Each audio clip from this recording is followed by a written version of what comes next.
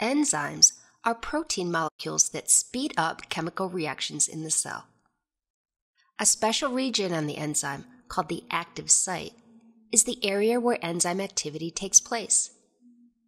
An enzyme works by binding to molecules, called substrates, at its active site.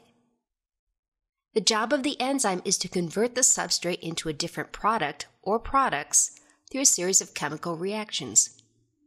Following the reactions, the products are released and the enzyme is free to act on another substrate. At the active site, the substrate should fit into the enzyme almost like a key fits into a lock.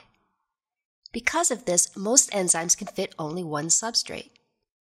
To accomplish this lock and key fit, the active site undergoes a slight change in shape in order to better accommodate the substrate. This is called the induced fit model because the enzyme is induced to undergo small changes so that the substrate can achieve optimum fit.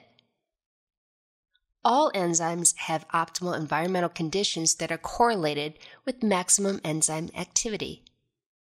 Environmental conditions, such as pH and temperature, play a role in how efficient the enzyme is in conducting its reactions.